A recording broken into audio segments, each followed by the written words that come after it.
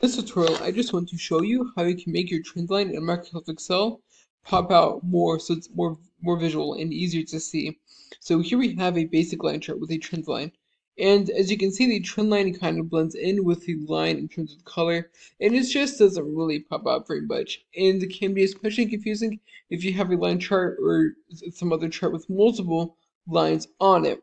So to make your trend line pop out a bit more, I would suggest making it thicker and adjusting the color. So to do this, you can clearly first click, click on the trend line, then right click on it. Then you're going to click Format Trend Line.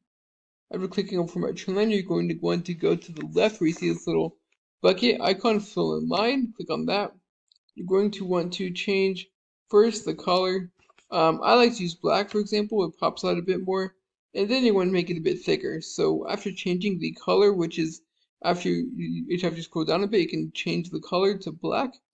Going to the bottom, you can adjust the width with where the adjusting the width will make the trend line thicker or um, thinner. So making it so we can adjust it to to 0.25 for example. And as you can see, it pops out a bunch more.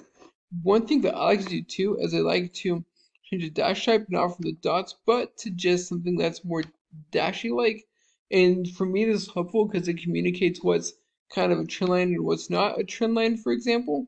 Whereas the more solid lines kind of communicate um, something that is just the data that we're using. And you can also adjust it further, for example, adjusting the begin arrow and the end arrow. So you might want to have the begin arrow just be the line, but you might want to have something that points to the future, right? So you can throw an arrow on it, and as you can see, you know, we have our line chart right here, right? But now we have a trend line that is much more visible and as you can see has an arrow on the end of it so it pops out more.